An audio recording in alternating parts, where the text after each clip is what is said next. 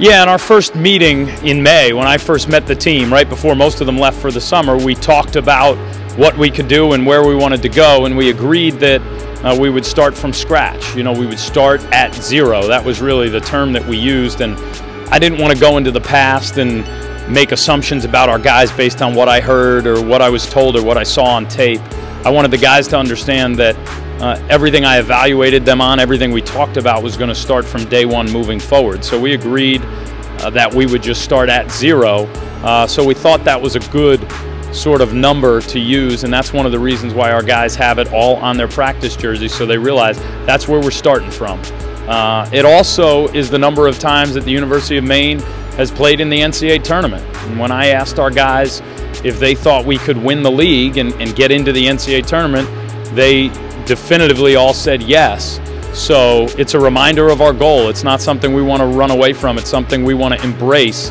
Uh, we've never been to the NCAA tournament as a program. What an incredible journey it's going to be to be on uh, to get there, and uh, zero represents that as well.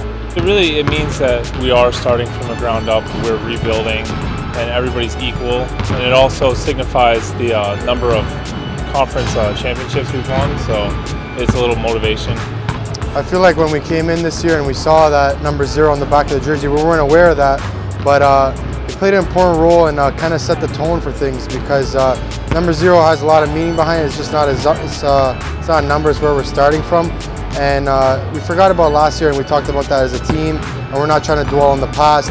That's why we have that number. We're going to start a new, you know, a new season, new beginning, new coach, new culture. And ever since then, we've uh, kind of built off that. You know, we, we, started with a new system, built off that. It's getting better and better every day.